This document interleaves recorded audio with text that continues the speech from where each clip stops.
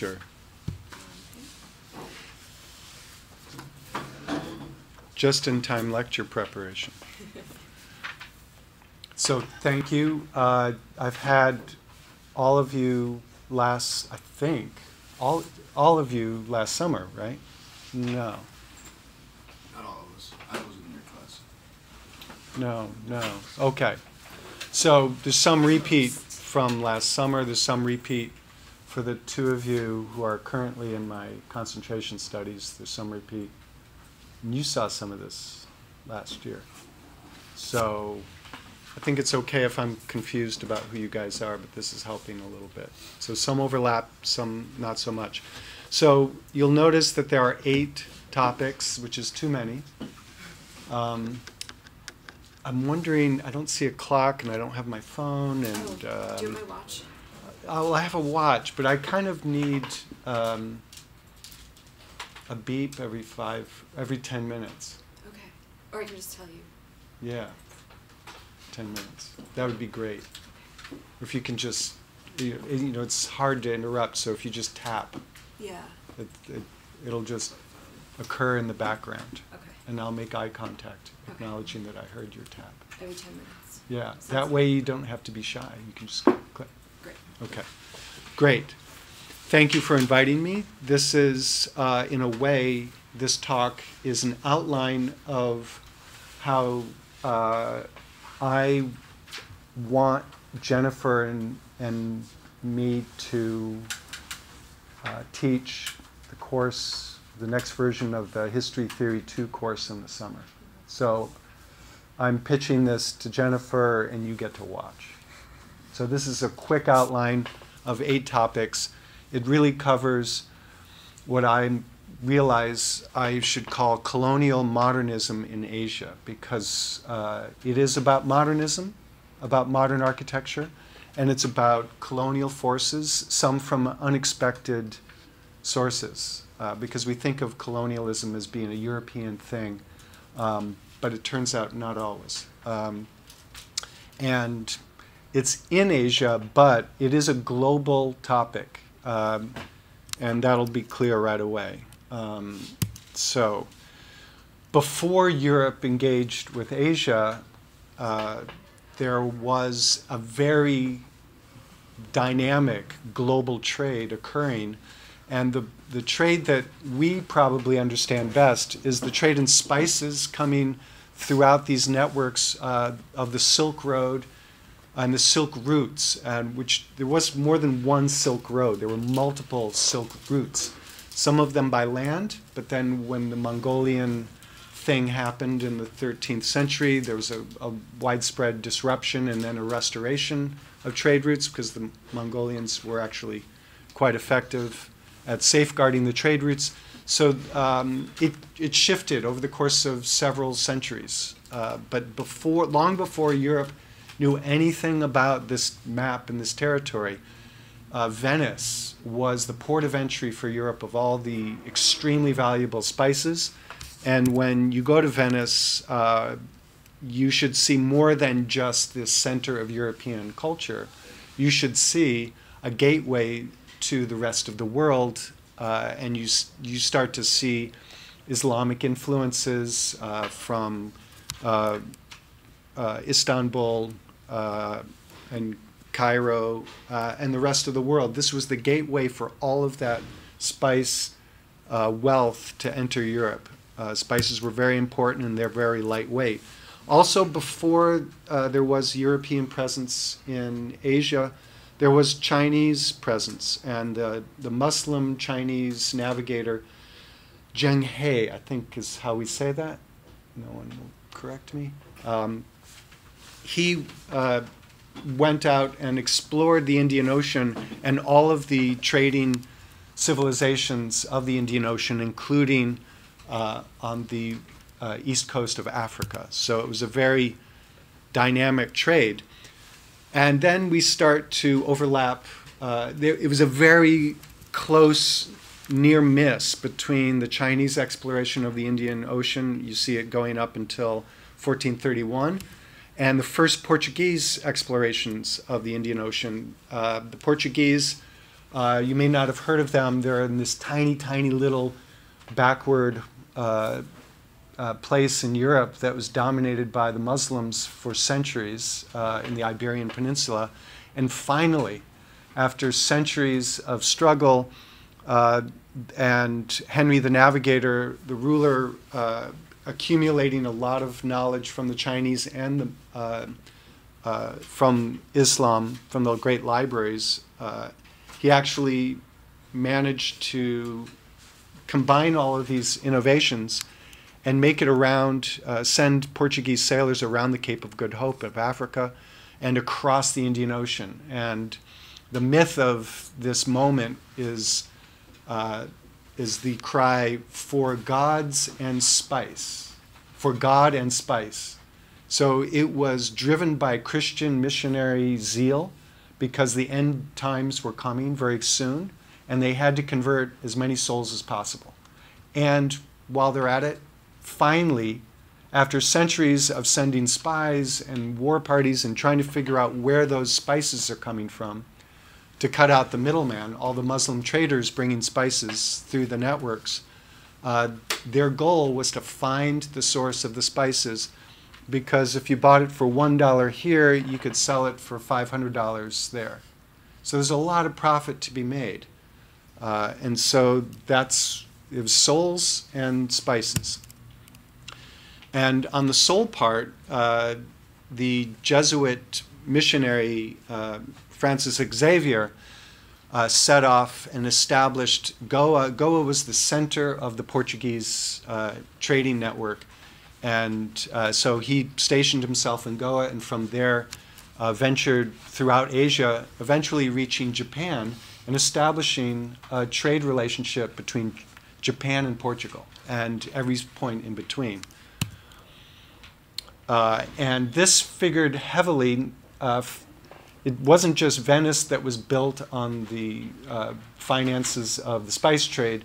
After the great earthquake and tsunami of 1531, uh, Lisbon was rebuilt on the wealth of the spice trade.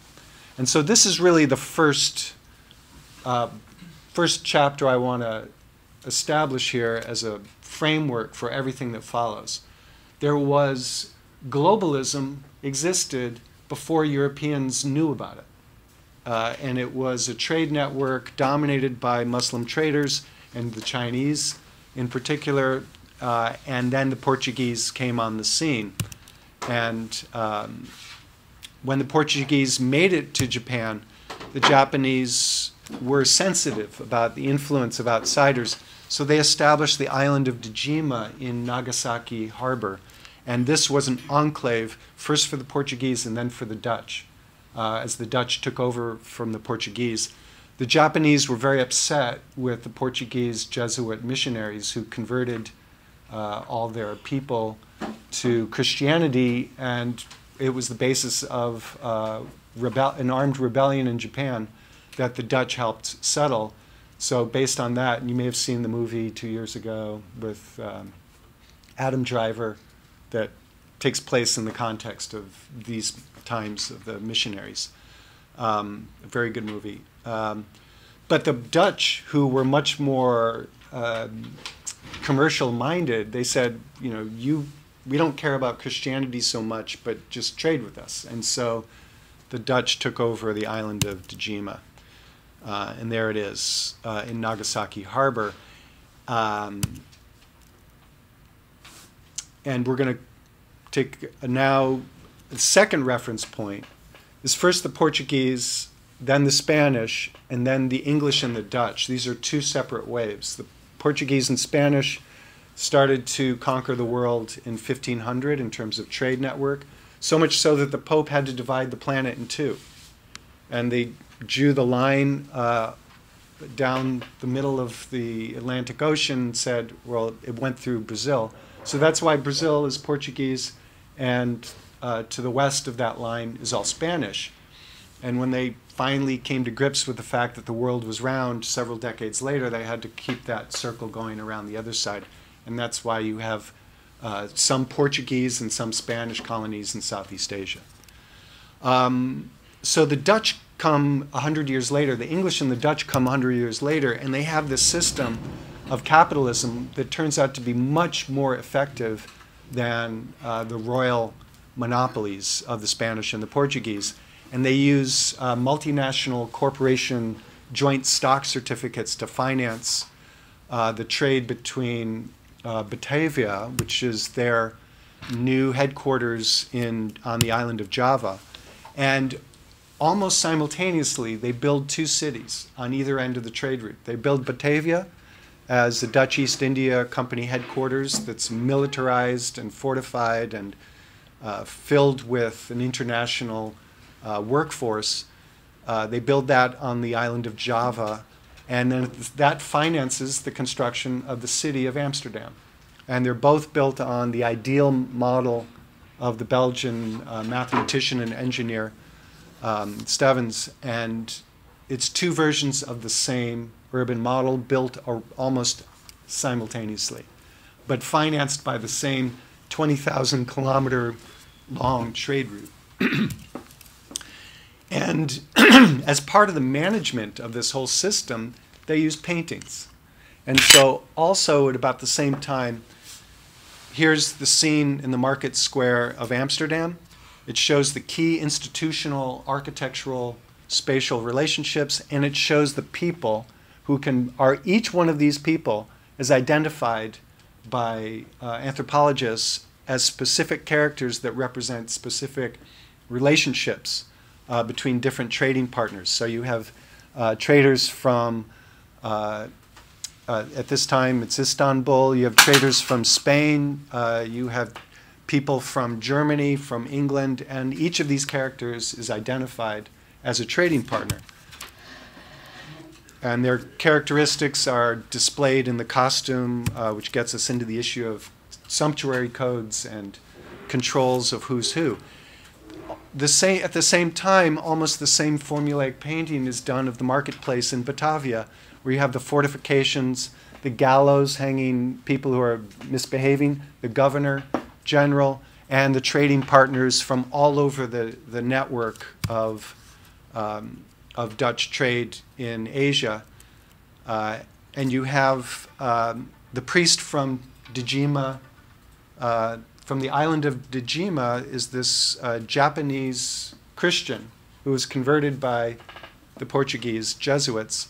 And uh, you see him in the marketplace as well. So there's a the, this network of Dutch trade also includes Japan and China and the entire uh, South China Sea region. So we see this, um, it's really two sides. Uh, I would go so far, and I have gone so far as to argue that it's one urban system. It's like the north side of town and the south side of town, but instead of being divided by the railroad tracks, it's divided by a 20,000 kilometer long trade route but two sides of the same town. And here we see a similar evolution of the uh, sumptuary codes that control what people can wear, what they must wear, what they cannot wear according to their identity, uh, that's codified in these paintings. But now in South Africa, a Dutch colony, Cape Town, uh, it evolves to the point where it's not about the costume, it's about the pass laws. And that's how you get the grand apartheid system from 1949 until uh, it collapsed. Um, another thing to note that comes up in this uh, study is uh, the flow of cultural attributes. So you see this Dutchman married to a Javanese woman uh, who is of very high status, you can tell because there's a servant carrying the parasol. And that comes directly from the practices of the royal court of Java. The king of Java um, always has to have a parasol over him to signify that he's the king. Well, the Dutch resident needs to be respected too, so the Dutch resident has to have the royal parasol as well. And so it became a symbol that was part of the status system that had to be controlled by sumptuary codes so that people didn't act above their station. Similarly, the king of Java can't be one upped uh, by the Dutch resident. And so uh, he adopts the costume of the European colonizer uh, including the medals and the sash uh, and the military hat. And so there is this exchange of cultural attributes that happens uh, in terms of language, behavior, the use of chairs, the wearing of shoes, the costume, and the architecture. Uh, here's more of that. Uh, the 10th king, uh, Pakubuwono the 10th, uh, and the Dutch resident um, at two different moments. Um, and uh, it happens in, um, this is the king of Thailand, uh, Chulalongkorn, Siam at the time. Uh, he is visiting the palace in Java along with the Dutch resident and the king of Java. Uh, and it goes on till the present. This is from the 90s, um, where the the royal palace is still. This is the official costume, and this is a hybrid costume. Um, there was an evening affair where the the prince uh, from a local palace was going to an event, and the king was going to be there, which meant he had to wear a sarong and a sword and this hat uh, but also the Dutch resident was going to be there, which means he has to wear um, a proper European uh, tuxedo with the tails coat. Um, but every time he put the sword in with the tuxedo tails coat, the tails stuck up in an awkward manner. It was lumpy. And so he made the fashion statement of the season when he asked his tailor to snip off the tails. And fashion history was made. The traditional Javanese costume was established and there it is. It's a hybrid uh, formation. And so, um, so the point uh, of uh, one of the points uh, is also that the domination that the Javanese experienced at the hands of the Dutch was happening all over Asia at the time, and it inspired the Japanese, who were already sensitive to things, to uh, declare that they were closing their borders. They had already closed their, uh, uh, said, we're not going to trade with China anymore. So they, there was no direct trade between China and Japan. Uh, and that's one way that the Portuguese and then later the Dutch became filthy rich, is because they weren't just bringing wealth back to Europe uh, and selling European goods in Japan. They actually made more money uh, ferrying goods back and forth between China and Japan, taking advantage that they wouldn't trade directly. And so they made a fortune with that. But after the trouble with the Christian missionaries uh, and then seeing what was happening to other nations around Asia, they made a law and they said anyone who has a ship that doesn't have a big hole in the side will be put to death you have to have a big hole in the side of your ship. If you have a high gunwale, um, that means uh, you can take a boat in the ocean waves without sinking. Uh, and, and, that's not allowed. No Japanese person is allowed to leave the calm waters of the harbor. Uh, and if you take a ship uh, out of the calm of the harbor, your ship will be confiscated, burned, you will be put to death, your crew will be put to death. So, starting um, in the mid 17th century, uh, the Japanese uh, enforced a very strict isolation policy, sakoku. Sakoku is probably how you pronounce it. Uh, and during the next two centuries, they thrived. And I think you've already looked at Japanese stuff. Bit, yeah. Ise Shrine uh, Katsura Palace, Katsura Imperial Villa. Um, one of my favorite topics in Japanese architecture um, that is worth looking at um, very briefly. It's a summer palace that was designed uh, in the 17th century during this period of isolation. And it's a landscape architecture uh, reference point for all modern uh, landscape architecture and the buildings and the relationship between the buildings and the landscape have become a reference point for uh, uh, architecture and landscape uh, of modernism. Frank Lloyd Wright, Bruno Taut, and all of the Japanese uh, modernist architects. Um, It's an, an attitude towards materiality, being very expressive of the material reality and its tectonic characteristics, to be true and honest with material uh, attributes to the point where, whenever possible, the original natural state of the elements, the architectural elements, uh, or in selected moments of truth, they retain the natural uh, appearance of these materials. Uh, there is a use of screens that are structurally independent of the columnar structure. So it's like a domino house of, the, uh, of Corbusier.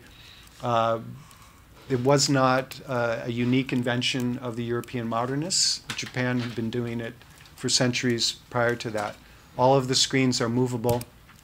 They're there to frame the views within and from in, interior to exterior. And so this uh, Katsura Villa is uh, a remarkable demonstration of the power of carefully framed views that synchronize the landscape and the architecture. And it, became noticed, um, it was first, it, there was a whole history of landscape painting that incorporated um, in axonometric. It was very much an axonometric painting tradition uh, in Japan. And as it became noticed by Bruno Taut, here's Bruno Taut's uh, book. We might have studied Bruno Taut last summer, I can't remember. Uh, but the way it gets documented by Arata Isozaki, who's the a famous Japanese modernist architect, he um, builds on Bruno Taut's uh, interest in Katsura Villa and publishes this uh, remarkable book where it's treated like uh, a site of modern architecture, drawn in axonometric and studied very carefully. So it's a really interesting uh, reference point to what happens with Japanese culture when it is isolated and allowed to flourish without any influence from outside uh, it actually becomes, in many ways, a parallel to modern architectural development. Where are we at now? We're coming up on 20 minutes. Awesome. I might be able to do it.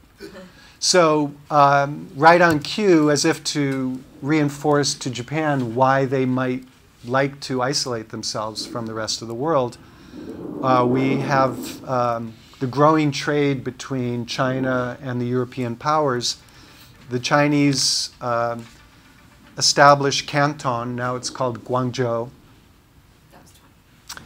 Uh, they established uh, foreign concessions, which means these plots of land in the harbor of Canton are considered foreign territory in China, in a Chinese city. And so there are many paintings that depict the flags of the different nations flying over the warehouse structures uh, and so this is the architecture and infrastructure of global trade in Canton, China. Um, but it, there was a problem with this. Um, it had to do with uh, if you wanted to buy something in Canton, you needed to pay with silver because that was the currency. Uh, you, well, you needed to pay with the currency of Canton. Uh, and uh, and so they had trouble. The British would would tried really hard. They would take their manufactured goods and they would bring it to Canton and they say, "You want to buy this?" And the Chinese uh, would say, "No, thank you. We don't need that. Uh, we don't need this. We don't need that. We don't need the other thing."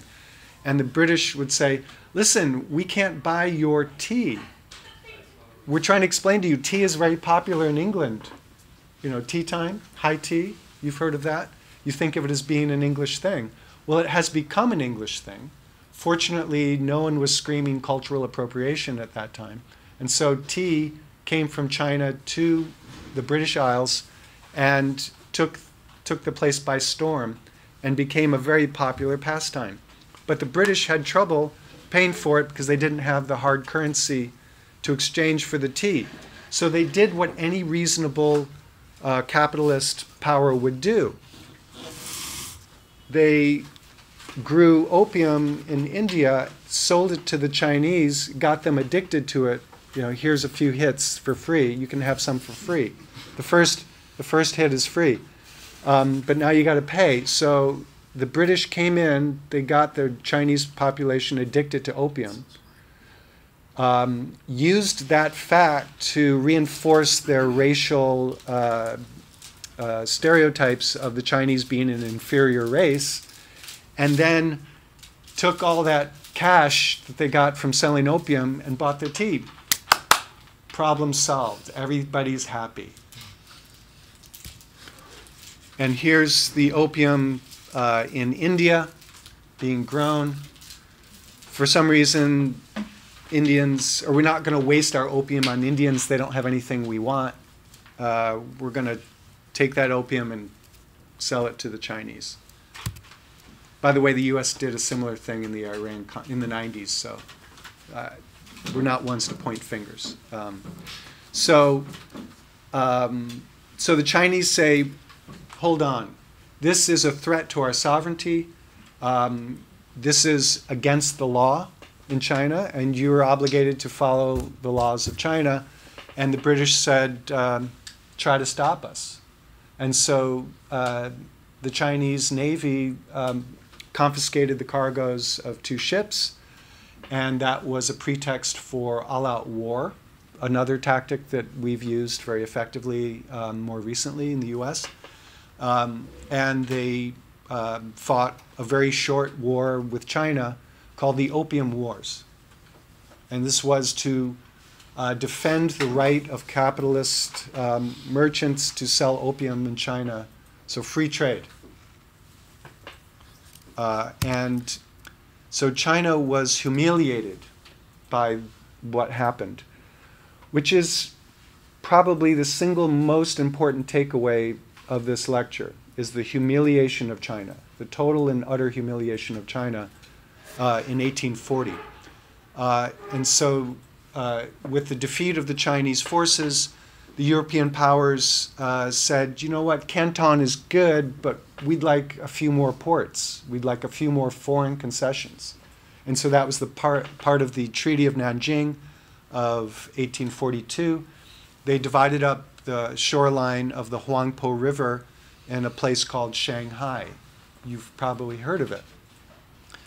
And so this was the beginning of the carving up of China by the European powers. They literally identified a French concession, uh, and then other nationalities would have their sections.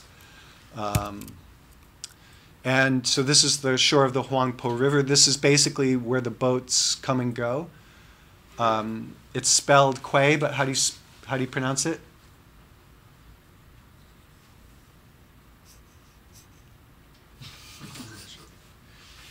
We did this in concentration studies. It's pronounced key.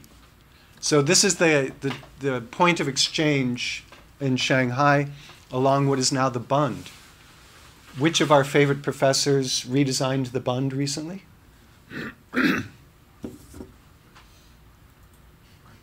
Yes. Points.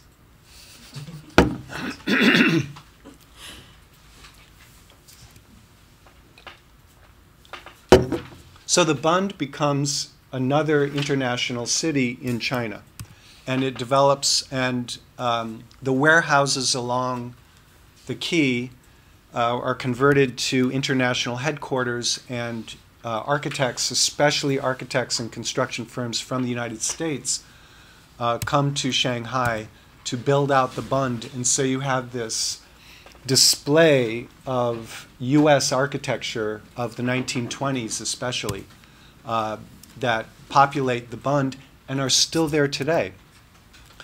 And it becomes comparable to the skyline of Manhattan around uh, a similar point of the early 20th century. And those buildings are still there today. Um, and so this is the, the key takeaway of this is China's humiliation. Any questions? I think we're doing okay time wise. You're doing great. You're not even at 30 minutes yet. So, questions? So, what is so important about the humiliation of China? What is so important about the isolation of Japan, what is so important about the Dutch domination of uh, the islands, the Southeast Asian archipelago now known as Indonesia? and what's so important about remembering the reference point that prior to around 1500, Europe was a primitive backwater, while Asia and arguably the Americas were thriving for centuries up to this moment in 1500. And what will the, since we write architectural history retrospectively, uh, in a hundred years or more, looking back on this history, when uh, China is likely to be the dominant, China and India, because uh, of the size of their economies, are likely to be the dominant forces in the world. What will history, what histories will be written 100, 200 years from now? Uh, and when the dolphin archaeologists uh, excavate uh, these ruins thousands of years from now, and they speculate that there really were semi intelligent life forms on land with two legs and hands, let's call them humans.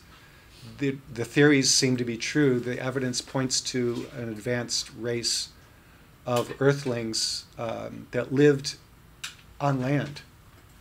Um, what will they say about this history? Um, and so we're accessing these larger perspectives here to speculate on how we should be looking at this history. So, the 200, uh, the two centuries or so of Japanese isolation comes to an abrupt halt in 1853 when a, a U.S. Uh, naval ship uh, steams into Yokohama Bay. And um, this is a depiction of that moment. Or it's a, it's a compression of time because you see European architecture in Yokohama and you see uh, at the same time as Commodore Perry's ship is, is there in the harbor. So this is a compression of several decades. But basically, uh, in 1853, the U.S. Uh, heavily armed U.S. ship steams into Yokohama Harbor and says, "Greetings from the U.S. President. Uh, we hereby declare Japan open for business. Uh, do you see our guns?" So Japan is open for business.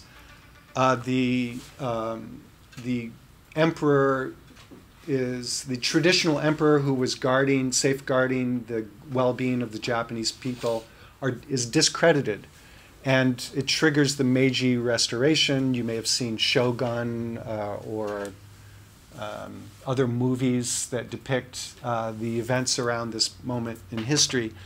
Um, but the Japanese uh, basically uh, do a 180 degree turn if they're if they can't be left alone, if they have no choice but to engage with the West, they are bound and determined to live up to their traditions of dominating. They are going to send out a mission across the seas to the US and Europe and figure out how these primitive Europeans are able to dominate. What is the machinery and the mechanism of their domination? How can we do that? So they come back from the the Iwakura embassy journey uh, two years, and they bring back uh, industrial technology uh, and architecture. And they go shopping for an appropriately imperial, Japanese imperial style. And uh, for those of you who were in the history class last summer, this part of the lecture will be familiar. We covered this topic. So this is a, a repeat, a review of that topic. Um, and I may ask you questions. So get ready. Um, so during the Beaux Arts struggle in Europe, there was uh, a debate between uh, the classicists saying the architecture of Greece and Rome, that's the proper style for us to build European cities in. Uh, against Ruskin uh, and company, the Gothic style, no, the Gothic style is more authentic, and we need to build according to the Gothic style. And so it was uh, red state, blue state, uh, peanut butter and chocolate kind of debate. And the aesthetic movement said, listen, just calm down, everybody. Don't stop being so ideological. Let's take the best of both worlds. Let's make things that are beautiful. And this was called the aesthetic movement. And so the aesthetic movement architecture uh, came to rise, and the Japanese saw this and they said, we'll take one of these. Uh, and this is where last summer I would say, um, if you're the Japanese uh, emperor and you want to uh, to mobilize your nation your modern nation, if you want to catapult Japan from an isolated uh, culture, insular culture, into a global imperial power, who are you going to call? Who do you call? Who are you going to call if you need to? Ghostbusters. No, not Ghostbusters. Architects. Architects, right. So you call the architects, and the architects say, yeah, we can give you an imperial style. Um, here we go. How about this? And they say, I'll take, I'll take a dozen. No, I'll take a hundred of these. And so the architects, uh, um, some architects from Europe end up in Japan establishing schools of uh, Japanese architecture where this becomes, it is transferred from this aesthetic movement, it's all about art for the sake of art, it becomes a political, it becomes weaponized. It becomes uh, the instrumentation of imperial Japan. So they start small with Tokyo train station. Um, we saw this building uh, in the summer lecture. It's one of my favorite buildings, the Yokohama Port Opening Building in Yokohama. It was built 50 years on the 50th anniversary of the opening of the port of Yokohama. So Perry comes from the U.S., um, forcibly uh, opens Japan to trade, and then 50 years later, this English architecture is deployed to celebrate that opening up of Japan to the world. Uh, when I turned the course over to Christina last summer, I then went here and took some photos for you all uh, because I went to a conference. Um, and here's the celebration of the U.S. gunship. Uh, you see the American flag celebrated in the stained glass window. So here's Japan celebrating the forced opening of Japan to the world. They've gone from being oppressed to victorious. They flipped it. They said, We are ready to take on the world. Um, and they celebrate it and they embrace this architecture. They rebuild Tokyo. And then um, they they take off and they conquer Korea, they conquer parts of the Soviet Union, they conquer parts of China, Manchuria, uh, they conquer French Indochina, and they conquer all of. Eventually, they conquer this entire area. Uh, by 1942, they've conquered. Uh, they've driven out the British in uh, Malaysia, and Burma. They've driven out the French in what we now call Vietnam and Laos and Cambodia. They've conquered large parts of China. They've conquered the Philippines. Uh, they've driven out the British of uh, the Malaysian Peninsula and Singapore, and they've driven the Dutch out of the uh, what we now call Indonesia, all of the islands of Southeast Asia. Um, and so it's their industrialization is successful. They leverage their industrialization into war machinery, and off we go, World War II. Uh, and this is the building we looked at. This is the aesthetic movement landing uh, in colonial Taiwan. By 1912, uh, the Japanese have taken over Taiwan and they build their colonial outpost in uh, Taipei, Taiwan uh, using the aesthetic style, there's a competition. The competition winning entry is the one on top. but then they say, hold on, that's not imperial, it's not forceful enough. And so they, they beef it up. They pump steroids into the aesthetic movement uh, architecture and pump up the, the corners to make it more fortress like and more imperial looking.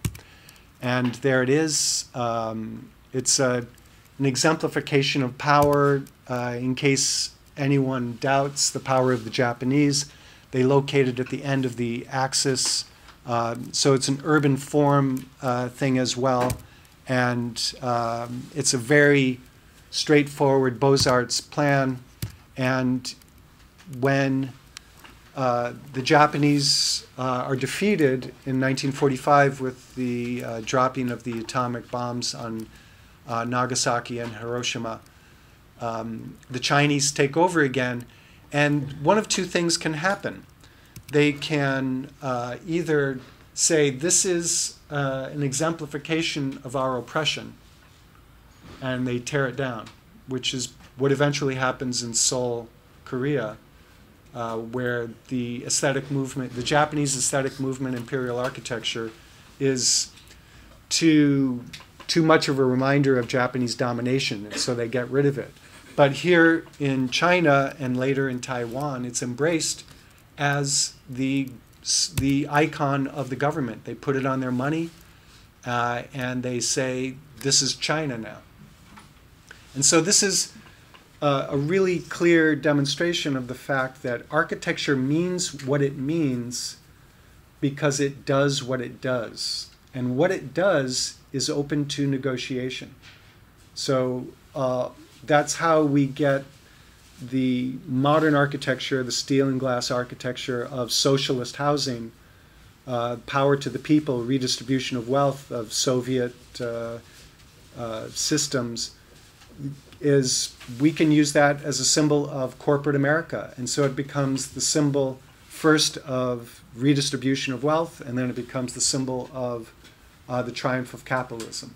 Similarly, architecture is available to be um, reappropriated re, and retooled uh, so that it does um, what we need it to do. And you don't even have to call in the architects for that transformation you just put it on your money and you proudly proclaim this is Chinese, and then later you say this is um, Taiwan. And uh, have you seen Man in the High Castle? So, Man in the High Castle, uh, at the end of uh, the the last, they're facing a similar thing. How, what should we do with all of these symbols of U.S power, do we do we convert them and win them over, or do we take them down? And so we see the the destruction. Oh, I don't want to give it away. Sorry. Never mind. But it's a beautiful, powerful, horrifying thing. Three more. So that's 40 minutes. Mm-hmm. Okay, that was a, I took a long time. I really indulged that one. Um, so here we are back to Java. Uh, before the Japanese takeover, the Dutch are feeling bad about um, Dutch public opinion back home in the Netherlands has turned against the colonial project uh, because of a novel. Uh, Max Havelaar is a very it's a viral novel about the abuses of power of Dutch colonial uh, colonialism and the plantation system. And so the Dutch people say, okay, we want to hold on to our southern Netherlands, now known as Indonesia. Uh, and I've met people who, when they were growing up, there was a map in their classroom in, in Holland that had the Netherlands. It was a map of the Netherlands. And there was this teeny tiny little European colored shape and then this massive chain of islands, and that was the Netherlands. And the massive chain of islands was in Southeast Asia. Uh, and so there was a very strong sense of this is the Netherlands. Uh, this is Holland. Uh, and so there was a debate. Um, so the queen, the queen of uh, the Netherlands said in 1901, she said, we're done being oppressive. We're going to have an ethical policy. Now we're going to redevelop the colonies for the benefit of the colonial subjects, regardless of race. Um, and there are over 400 distinct nationalities uh, in the islands. So they weren't just talking about the Javanese and the Balinese, they were talking about the 73 races, uh, ethnicities on Sumatra, and the several hundred ethnicities, distinct ethnicities and language groups, and na- arguably nations um, of Papua, what we now call Papua New Guinea. And so these two architects um, are uh, came together in this hall for a debate. And the debate was uh, if we're going to uh, reinforce and justify the continuation of Dutch colonial rule in the region, we need an architecture of the ethical policy.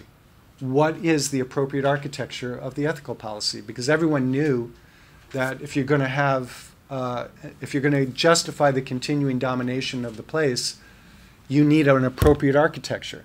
Everyone knew that. You got to call the architects. And so the debate within the uh, community of architects here in Bandung, Java, was what's the appropriate architecture for a good colonial, an ethical colonial architecture?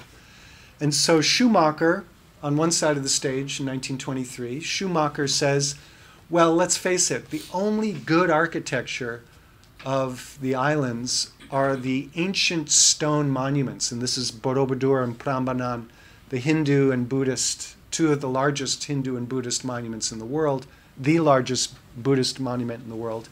And he said, that's the only appropriately civilized architecture of the islands, and that's what we need. We need a great civilization architecture to deploy and justify our colonial presence.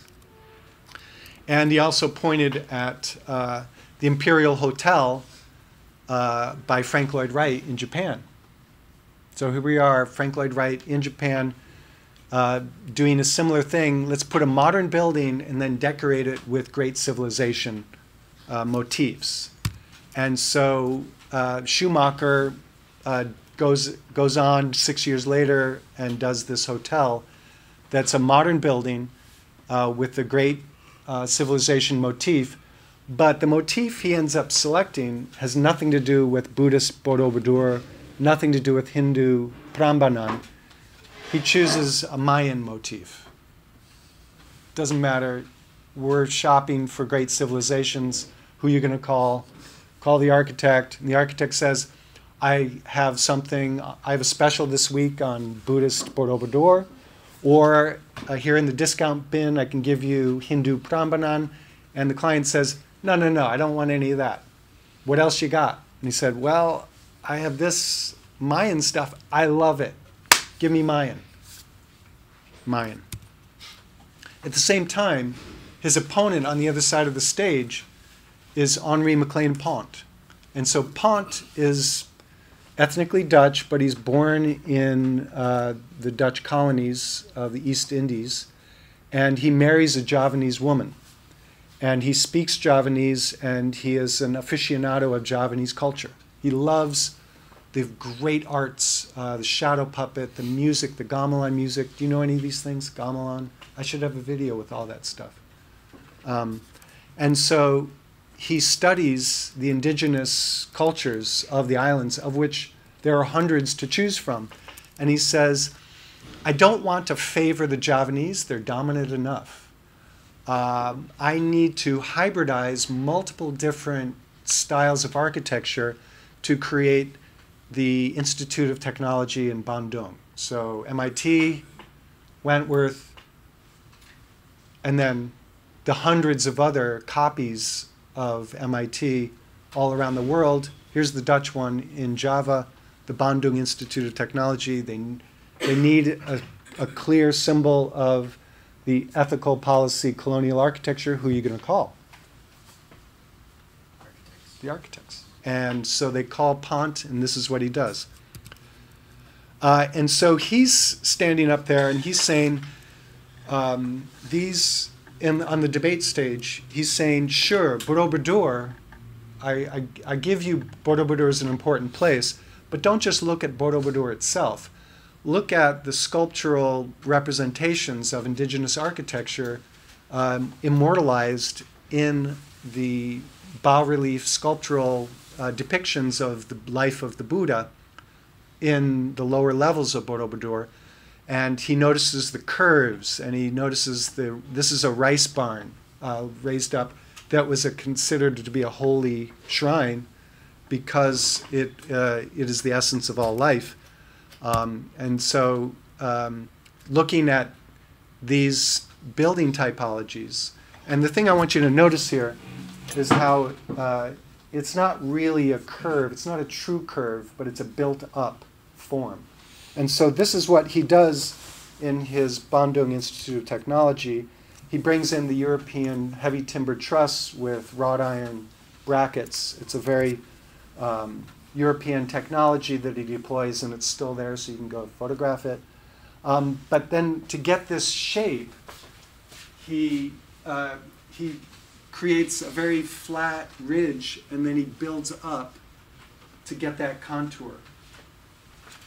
And um, this is what he's doing uh, just before he gets on the stage, and basically, Pont loses the debate uh, with Schoemaker. Um, and so Schoemaker goes on to win all the commissions. Pont withdraws. He goes into colonial service. He goes throughout throughout the archipelago, uh, telling the colonial architectural job uh, is to go from village to village, survey their architecture, and convince them to do two things: stop living in longhouses. Longhouses. There's a lot of fornication in longhouses and a lot of incest we need nuclear families, single family dwellings. So your job, Pont, is to convince them to move into single family dwellings. And second thing, stop building with natural materials. Don't use thatch, don't use bamboo. These things rot and decay and insects and disease. So it's all about morality and hygiene. And so, um, but in the process, he gets the tectonic uh, culture bug um, that Kenneth Frampton gets many decades later. And he starts to figure out well, the, the moment of truth in the debate was Schoemaker says, um, everybody knows that when you make a beam,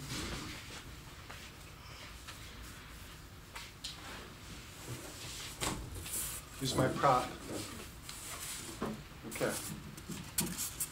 How strong is this piece of corrugated cardboard? Hmm? Weak. It's weak? Yes. Or is it very, very, very strong? The, it's a trick question. It depends. If you do it like this, it can support, um, you know, maybe a little buckle eventually, but it, it can support about 10, 20 pounds of force, 20 pounds of force. But if you go this way, it doesn't, it's weak. Right? So you know that uh, those of you who are juniors, who's a junior? Just two of you? These are the seniors. Okay. Um, well, all of you should remember the juniors had it on the quiz last week. But what's the moment of inertia? What determines the stiffness of this?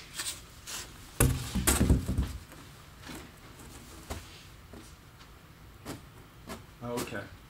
It's 1 12th the base times the height cubed. So that's the, that's the mathematics behind this phenomenon. The base is very narrow, eighth of an inch. It's not worth much.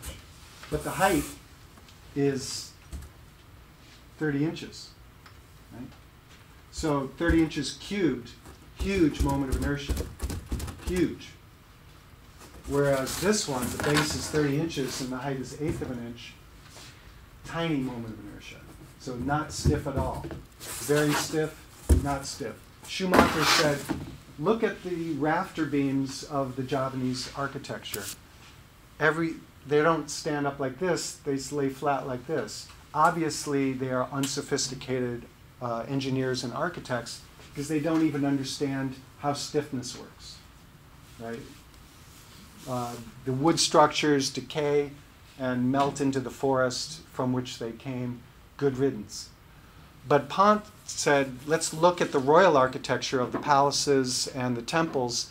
And he said, the reason uh, they, he, this is when he leaves the debate in defeat because he had no response to this clear engineering demonstration that stiffness is greater when you stand the rafters up this way. Why would the Javanese sit their rafters in the weak direction unless they're just incompetent? So uh, Pont lost the debate. He goes off and Shane travels the islands, collects his research, figures out that actually they do that on purpose because every wooden structure is trying to behave like a tensile structure. And so he's particularly interested in this building here, where the lower roof is hanging off the, the eave end, like a, where this rafter is on a fulcrum point. So the weight of the lower roof takes out the bend. So it's this this fulcrum makes the whole structure lift up towards the heavens. And this was a religiously uh, informed uh, tectonic strategy. You want your holy buildings to lift up towards heaven. How do you get a building to lift up towards heaven? The Javanese architects know how to do it.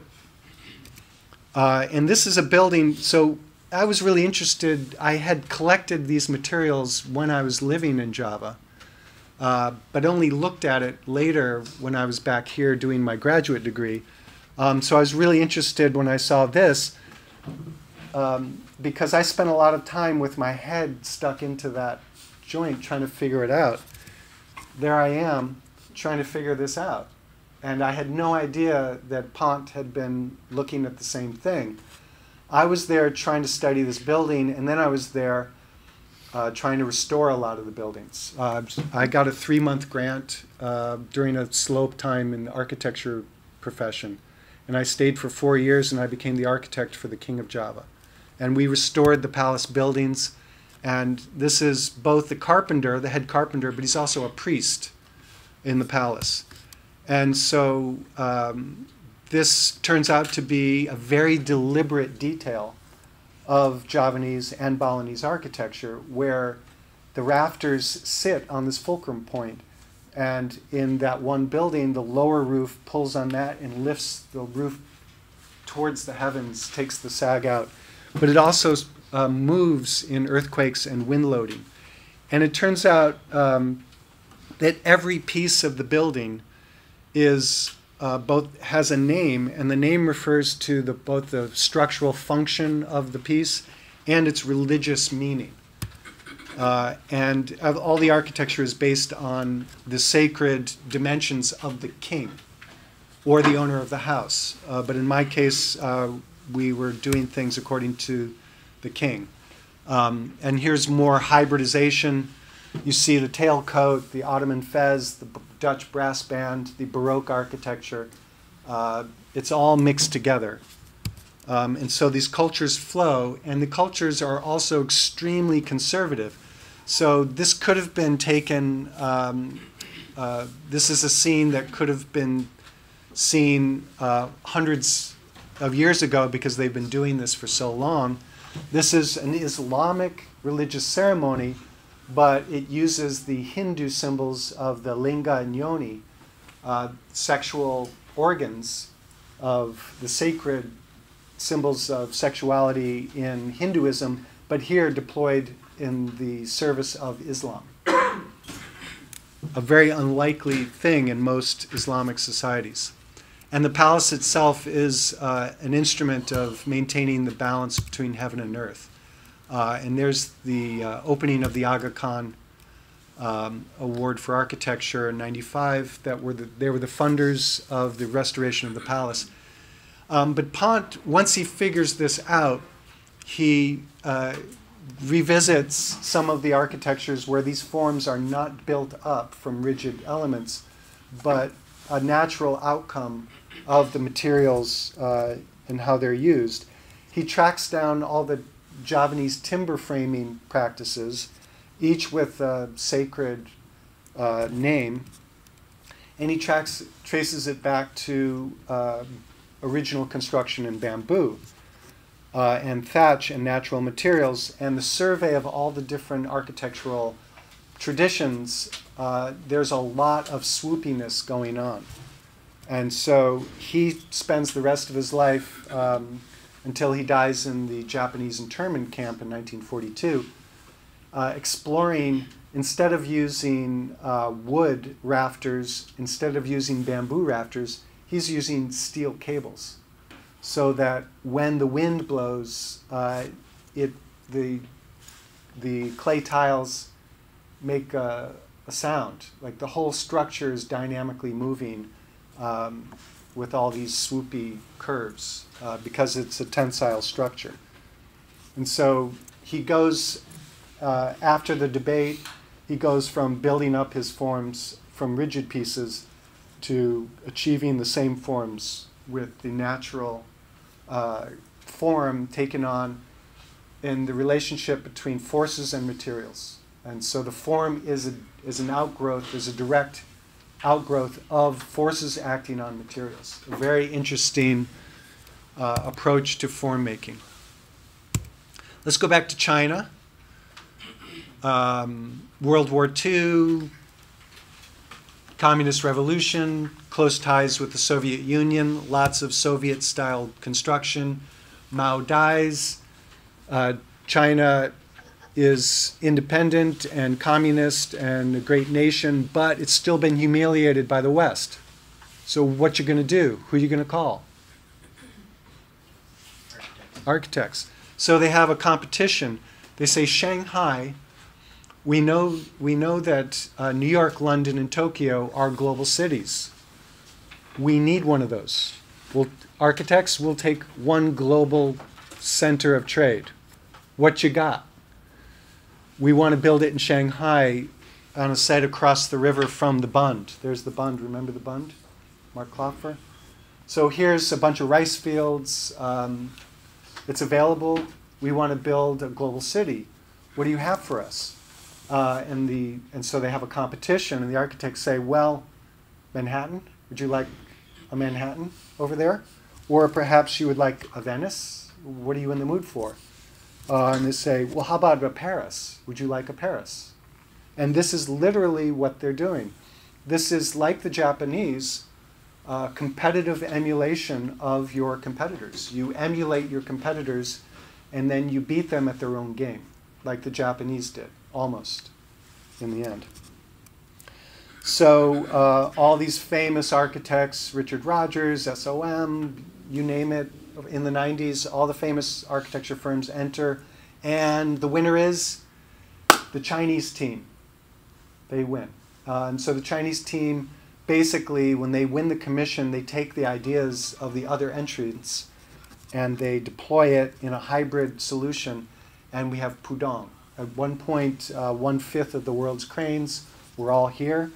Uh, currently, four or five of the tallest building, ten tallest buildings in the world are in Pudong, um, and they, and and there it is, the Bund and Pudong facing each other, and they did it. Shanghai is now a world center, um, and competitive emulation continues um, in the ghost cities of China. You've probably heard about these. This is a, a, a, a copy of Thames of London.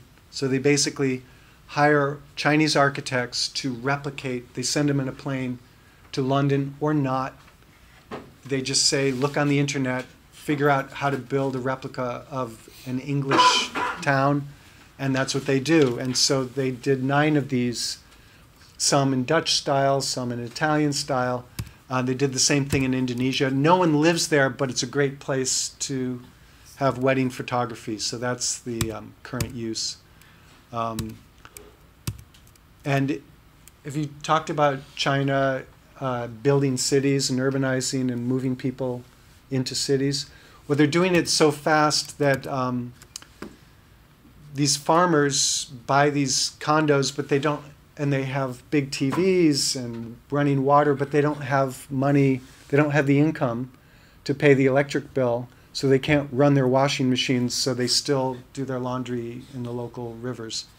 Um, it's a very strange, uh, awkward, to say the least, situation.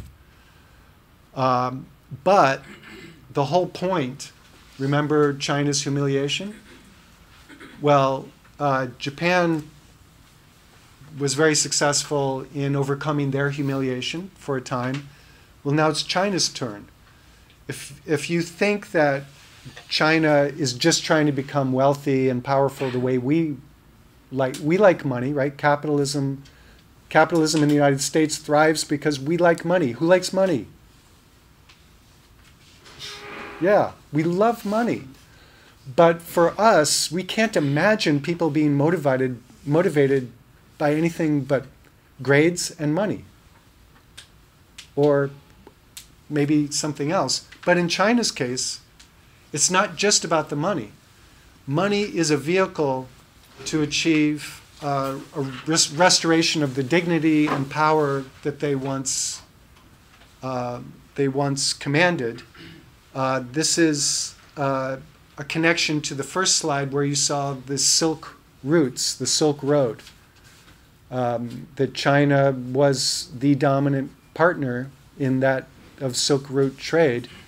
What is this called?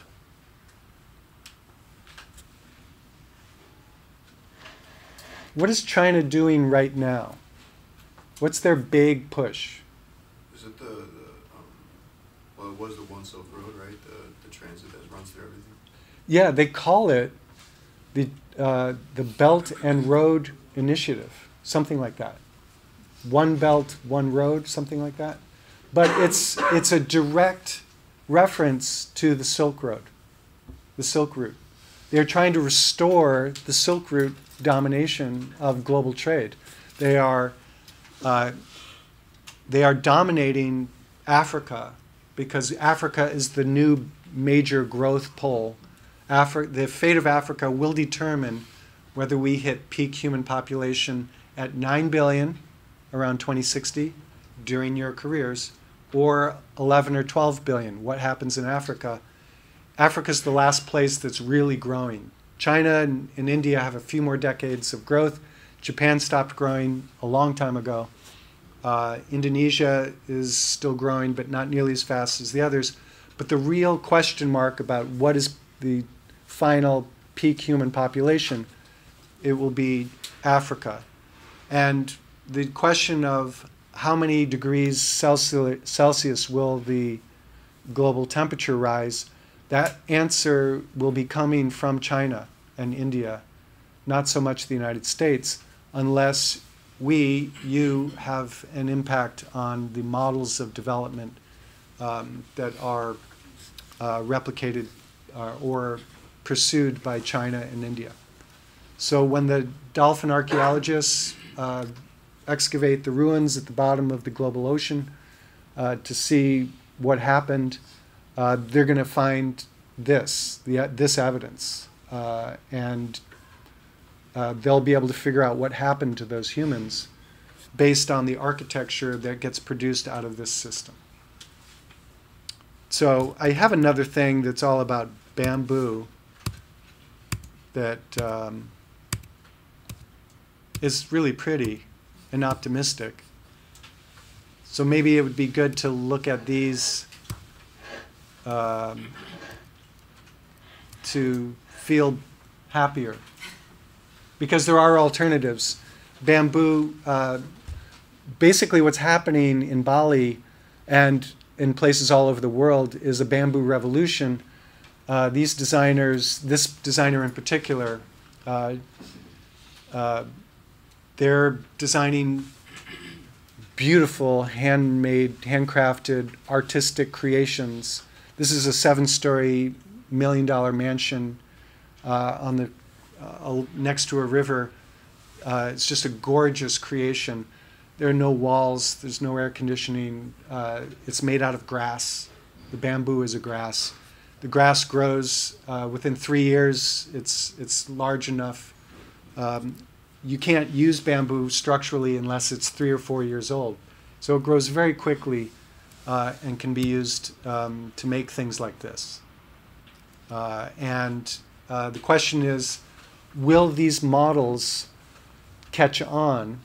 Currently, uh, you can't get, uh, you can get wealthy expatriates to buy, uh, to commission these mansions of bamboo, but it's very difficult to get locals to be attracted to bamboo because the Dutch prohibition against bamboo structures has been so completely embraced by local populations. We had a student here a few years ago from Vietnam. He said uh, his father still had a bamboo structure on his property, and the local village head kept telling him, "You got to get rid of that.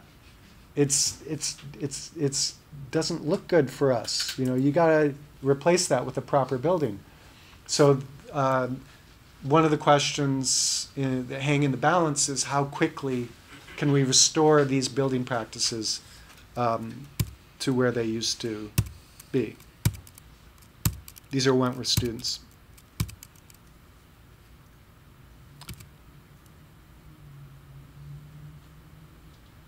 So that's it. We don't have time for this.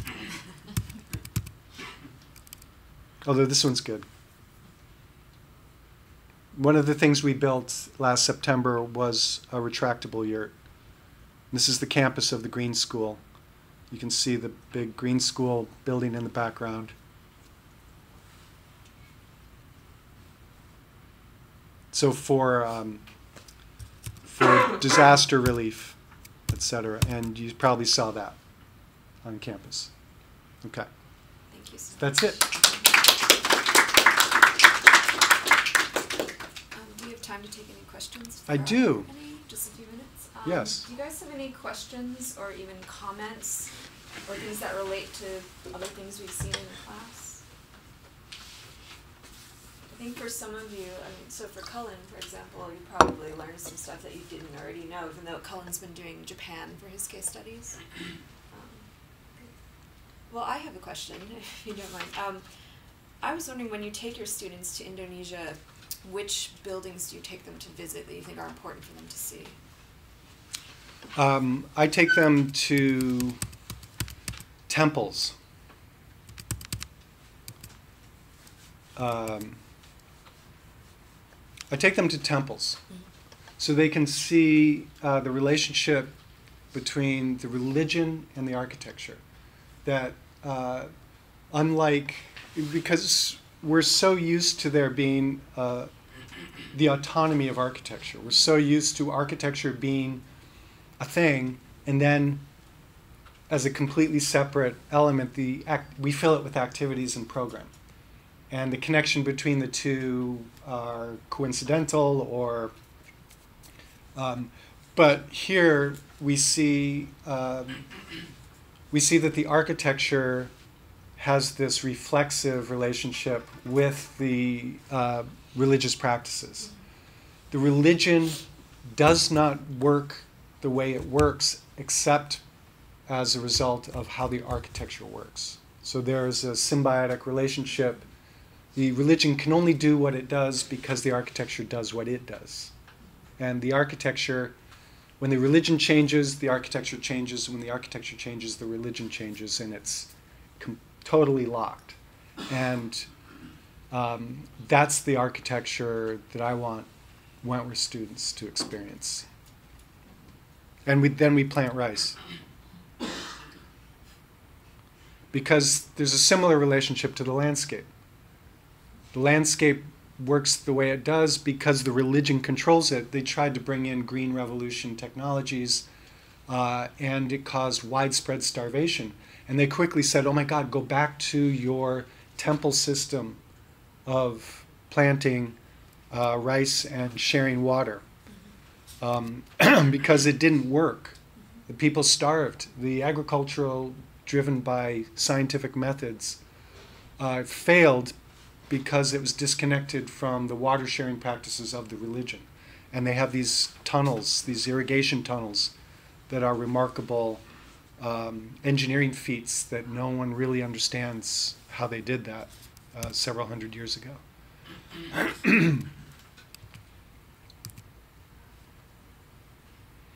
A lot of what you said resonated with what we've discussed in our class, which is this idea that you can never, even though these places aren't colonies anymore, you can't go back. You can't pretend that that never happened. Mhm. So it's still today this ongoing negotiation of um, things that are more local versus things that are imported, and you know, traditional culture versus modernity or modernist culture. Right. Um, and I think what you're what you've showed us really resonates with some of the other examples we've looked at from Africa, from Latin America, things like that. hmm Yeah.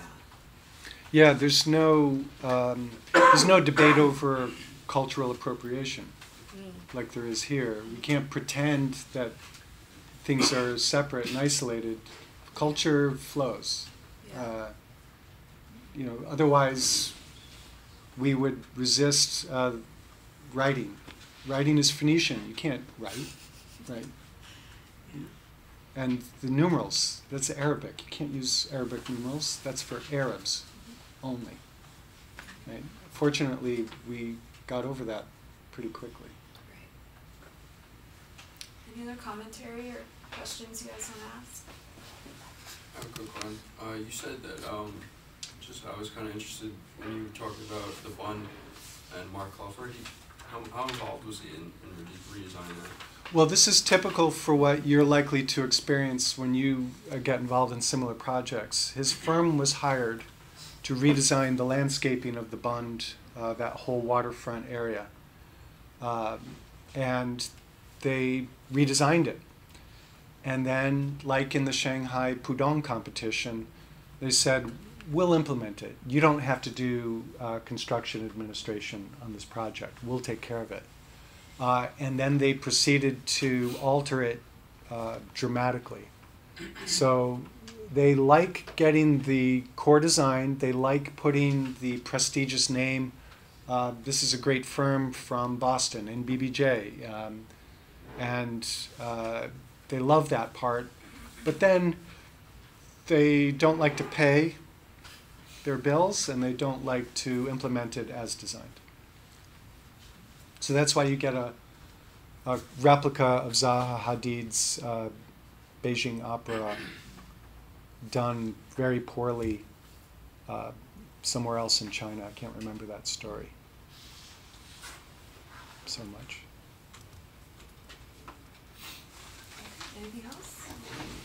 thank you so much. This was thank really you so much. a great conversation. Um, how are you feeling? You can present today or you can present Tuesday. I know you have. It's up to you.